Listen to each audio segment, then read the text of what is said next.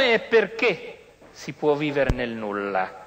E che cosa si prova a vivere nel nulla. Questa volta, in questa quinta convention, non avrete un uomo da applaudire oppure da toccare, avrete solamente un'idea e uno spirito da scegliere o da rifiutare, da portare con voi o da abbandonare la scelta per ciascuno di noi presente in questo stadio o che guarda da casa sia una volta per sempre legata a ciò che ciascuno di voi sa, ha visto con i propri occhi, a ciò che egli conosce, a ciò che ha realmente vissuto. Noi non abbiamo potuto andare perché non sapevamo dove andare, ma abbiamo potuto ricevere un piccolo pacchetto, un piccolo regalo e adesso è giusto che lo apriamo e che scartiamo questo regalo tutti insieme. Comunque la si voglia interpretare questa vicenda dentro questo piccolo pacchetto che adesso andremo ad aprire insieme c'è un'anima e per quanto ciò possa apparire a qualcuno melodrammatico, io prego ciascuno di voi di prendere un pezzetto di quell'anima e di farne l'uso che voi credete. Via al filmato.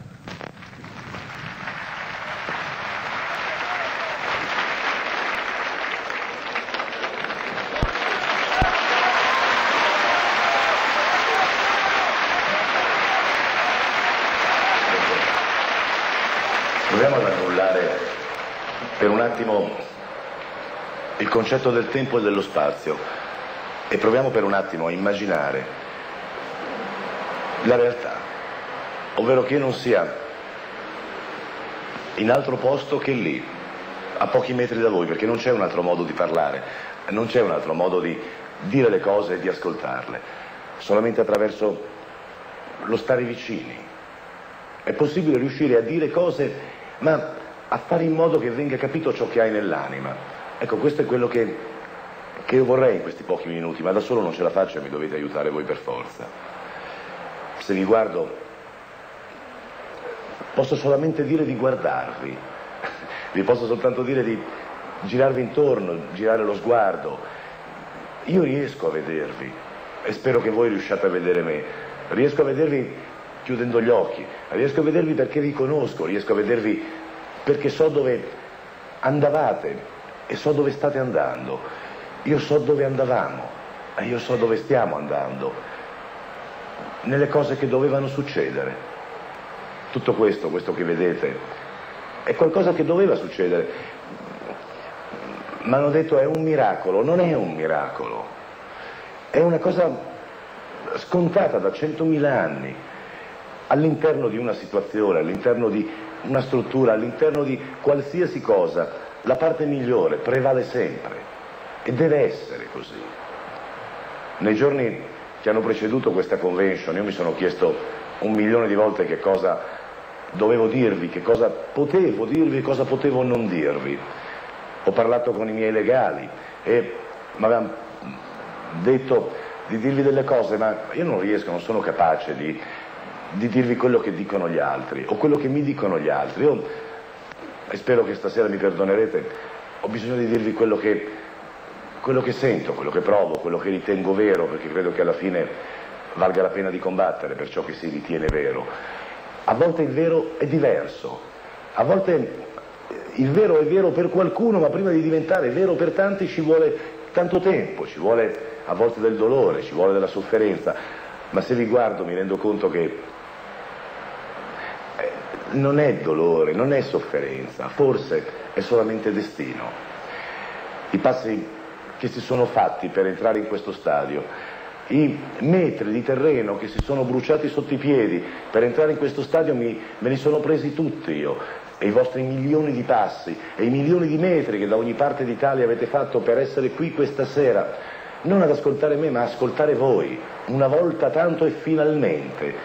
Io me li sono presi come regalo e con essi io ci addobberò nel modo più bello che sia possibile, qualsiasi stanza della mia vita, che essa sia una stanza di una casa o prima o poi una stanza di un carcere.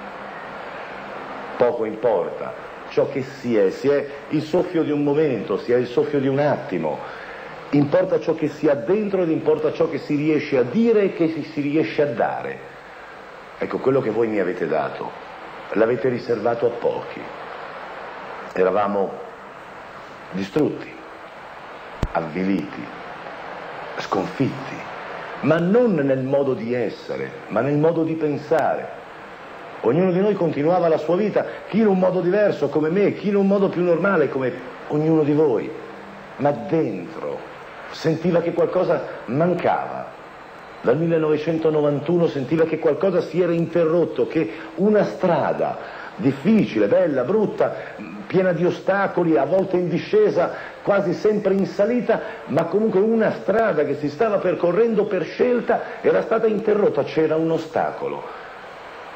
Io non so come avete fatto, o forse lo so, avete preso una bacchetta magica, avete pregato per un attimo, vi siete comportati da uomini, questa strada adesso è davanti, libera e gli ostacoli sono molto meno. Quando io, tanti anni fa, mi trovai a parlare per la prima volta alla gente, mi resi conto che, che c'era qualcosa nella gente tutta di meraviglioso che era più bello di un quadro, che era più bello di un mattino, che era più bello di un tramonto, che era più bello di ogni cosa, perché era quel qualcosa voluto da Dio, cioè quel qualcosa che nasceva quando la gente si aggrega, quella forza enorme, immensa, spaventosa che nasce dalla certezza di avere ragione, che non è avere i paraocchi e seguire una linea retta senza vederne i contorni. Assolutamente, è un qualcosa di inconscio, è un qualcosa che ti prende da Bari, da Napoli, da Trento, da Merano, da Bolzano, da dovunque, che ti fa dimenticare, che ti fa dimenticare completamente tutto ciò che è stato detto, tutto ciò di cui ti hanno bombardato, ti prende per mano e ti accompagna una sera di settembre in uno stadio che non ci doveva più essere e diventi gente che non ci doveva più essere, ma c'è. Ecco che cosa avete fatto. Ecco che cosa abbiamo fatto. Abbiamo solamente ribadito nel 2000 la capacità di esprimere il diritto di essere come si vuole, che non è fare ciò che si vuole. È facile adesso pensare di essere vicini e annullare il tempo e la distanza. Adesso è più facile. Ed è necessario farlo, perché quando anni fa, o minuti fa, o secondi fa, non me lo ricordo e non ha importanza, io vi dicevo, la gente è in grado di fare le cose che ora fate fare a me. Ecco, voi avete dimostrato che era vero. Voi avete fatto questo stadio. Voi siete venuti a prendermi e portarmi qui dentro e mi ci avete cacciato dentro di forza e mi avete detto e adesso parla perché siamo venuti qui anche per ascoltarti, non per ascoltarti, anche. E adesso Giorgio ha il dovere di parlare, ha il dovere di annullare questi anni che sono passati, ha il dovere di annullare le umiliazioni, ha il dovere di annullare la paura, ha il dovere di annullare il dolore, ha il dovere di annullare il peso di una terribile storia che per quanto terribile tu non hai il diritto di far pesare a nessuno perché noi siamo la gente, noi siamo l'Italia, noi siamo coloro che decidono, che determinano, siamo coloro che ascoltano o che non ascoltano. Noi siamo coloro che parlano, voi siete coloro che parlano e questa notte fatelo.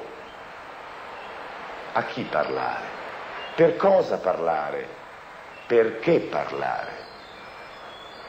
La risposta a ognuna di queste tre domande l'avete data venendo qui. Perché siete qui?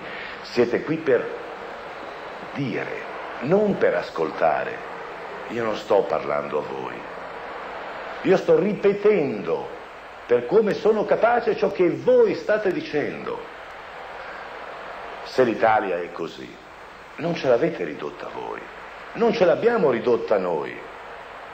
Avevamo debiti, chiedere a Ferruzzi per informazioni. Avevamo operazioni che non andavano bene, Forse allora è perché eravamo onesti. e quando sei onesto forse qualcosa non va bene. Forse ti trovi di fronte a un meccanismo che ha paura di una notte come questa e non si finirà mai di ringraziare i giudici di mani pulite perché il 99% del merito di questa notte di settembre è vostro, ma l'1% è loro. E magistratura e gente, e magistratura e cittadino, insieme, hanno creato questo stadio e l'hanno fatto risalire da dove era stato sprofondato, ma non da dove era stato sprofondato da atti compiuti o non compiuti, da crimini o da cose di questo genere. Vi era stato sprofondato dalla paura che un giorno in questo stadio si avesse evidentemente ragione. Ecco, in questa notte di settembre noi abbiamo evidentemente ragione. Qualsiasi cosa io possa aver fatto, e io so di non aver fatto qualsiasi cosa, questo non toglie una virgola ai crimini compiuti contro di voi da coloro che per interesse, per denaro, per potere, per meschinità hanno utilizzato ogni cosa per farvi sparire, per farci sparire. La risposta è qui. Per 4.000 volte non siamo spariti. Questo non vuol dire essere migliori. Non vuol dire che la mia situazione sia diversa e non vuol dire che voi diventate ricchi domani mattina. Questo vuole solamente dire che un primo passo è stato fatto. Un primo passo che si chiama rete mia, ma rete mia c'era anche prima. Un primo passo che si chiama Domovideo, ma Domovideo c'era anche prima. Un primo passo che probabilmente si chiamerà Mia Viaggi, ma Mia Viaggi c'era anche prima. Un altro passo si chiamerà forse immobiliare di mercato, ma l'immobiliare di mercato c'era anche prima. In questi anni, in questi tre anni in cui si è combattuto per riprendere ciò che c'era prima, dove lo troviamo un senso? Ma lo dobbiamo trovare. Dio non inventa nulla, indica le strade. A inventare siamo noi. Eravamo troppo giovani, non avevamo capito tutto. Forse anche oggi non abbiamo capito tutto, ma qualcosa in più l'abbiamo capito. Prima Credevamo alle favole, giocavamo agli indiani e ai cowboy. Leggevamo sulle favole che c'erano i cattivi, ma non ci credevamo mica davvero. Oggi abbiamo imparato a crederci. Abbiamo imparato a crederci, ci sono i cattivi che ti aspettano all'angolo della strada e quando svolti la strada fischiettando contento o camminando comunque pensieroso e comunque vivendo te stesso e il tuo futuro, ci sono i cattivi col bastone che pum ti piegano le gambe. Ecco, quello che noi abbiamo imparato è che questo purtroppo è vero e ce lo ricorderemo.